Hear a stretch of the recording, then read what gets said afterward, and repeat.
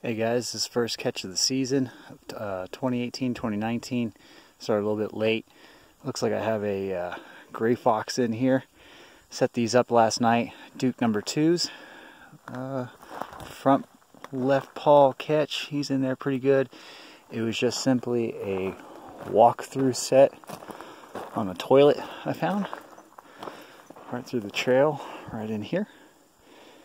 So, anyways, uh, looks like he missed this trap here and just got the other one, Duke number two. Uh, anyways, I'll get him dispatched and we'll get more going through the season.